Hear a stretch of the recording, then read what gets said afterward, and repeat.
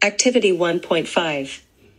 In this activity, small amount of ferrous sulfate crystal is taken in a dry test tube.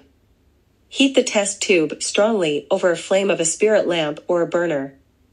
You will observe that greenish colored ferrous sulfate on heating. First loss, water and the color changes to form anhydrous ferrous sulfate.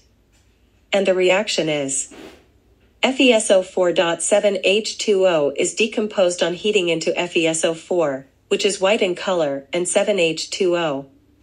On further heating of anhydrous ferrous sulfate is decomposed to ferric oxide, sulfur dioxide, and sulfur trioxide. The reaction is FeSO4 on further heating gives Fe2O3 plus SO2 plus SO3.